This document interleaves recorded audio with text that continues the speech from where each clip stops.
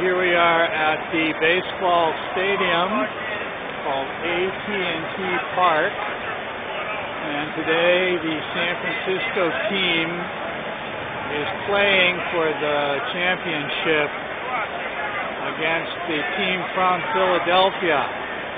This is a very big day in San Francisco because it hasn't happened for a long time, and there are many, people here. These are all people having a beer before they go into the stadium, enjoying the beautiful weather. Look at the California skies, perfect weather, and uh, everybody is hoping that the Giants will win. We even have police dogs coming to the game. Very exciting.